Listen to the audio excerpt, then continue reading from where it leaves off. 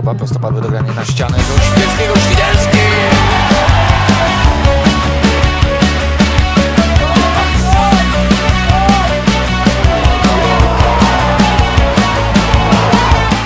Znakomicie Danielu w Twoim wydaniu sezon 2023-2024. 31 goli. Zdarzyło Ci się kiedyś coś podobnego?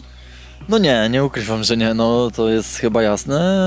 Bardzo dobry sezon. e, Uważam dużo strzelonych bramek, dużo strzelonych ważnych bramek i to co najważniejsze jest sukces z naszego zespołu, czyli awans do drugiej ligi. To było najistotniejsze. Kilka słów o tym ostatnim meczu, wreszcie na chłodno i na spokojnie możemy o tym porozmawiać. No dokładnie, już ochłonęliśmy po tym, e, po tym awansie, także no na pewno to nie był prosty mecz, e, ciężki to był mecz.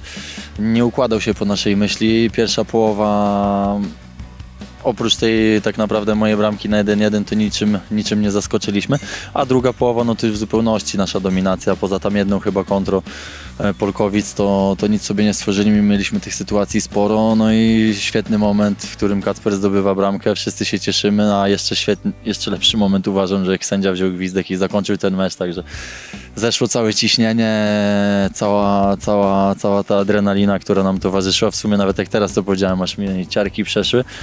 Także naprawdę, no kawał dobrej roboty, ale mówię, to był świetny okres, a teraz dużo, dużo pracy przed nami i mówię, no, no już czeka nas mocne wyzwanie w drugiej lidze. A zatem wybiegłeś już nieco w przyszłość, my zaś nie przypadkiem spotykamy się e, przy ulicy Kasprowicza w Bielsko-Białej, mając za tło siedzibę sponsora Rekordu Systemy Informatyczne, gdzie przed chwilą podpisałeś nową umowę z BTS Rekord.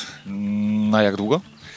E, Na, na dwa lata podpisaliśmy kontrakt z prezesem. No, bardzo się z tego cieszę, że, że kolejny raz e, z- prezes mi zaufał. Ja też e, uważam, że się odwdzięczyłem bramkami i sukcesem drużyny, także jestem bardzo szczęśliwy i mówię, no jeszcze chwilę urlopu, e, e, tydzień wakacji i, wracamy do, do ciężkiej pracy. Czyli można powiedzieć, że Daniel Świderski ślubuje swój nomen omen rekord, prawda?